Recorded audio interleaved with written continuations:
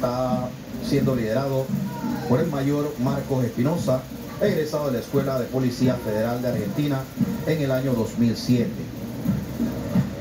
Él está siendo escoltado por el subteniente Sergio Oliveros, egresado de la Escuela Superior de Policía General Alberto Enrique Gallo del Ecuador. De igual forma, por el subteniente Leonel Soto, egresado de la Escuela Militar General Francisco Morazán. Bueno, sigue pasando frente a nosotros la delegación del Servicio de Protección Institucional SPI, que su misión, como ha mencionado él, es el servicio de o es garantizar la preservación del orden constitucional legítimamente constituido. ¿Qué más podemos hablar sobre esta eh, delegación que van haciendo paso por la presidencia de la República? Ahorita estamos observando el servicio de fuerzas especiales. Eh, el banderín es el subteniente Nicolás Meléndez.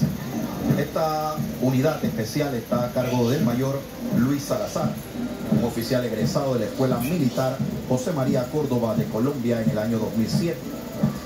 Él está siendo escoltado por el capitán Carlos Glenn y el teniente Josué Carrasco. Esta unidad especial eh, está conformada por el Grupo Especializado Antiterror, el Departamento de Explosivo y Desactivación, la Unidad Canina, así como también de la Unidad Antidisturbios.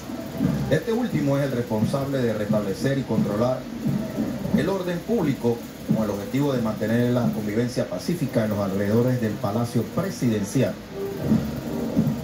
también acabamos de observar la protección presidencial que ya se encuentra frente a ese palco presidencial. A ver. Correcto, la unidad de protección presidencial está siendo liderada por el teniente Osvaldo Herrera, un oficial egresado de la Academia de Formación y Capacitación Integral en el año 2000.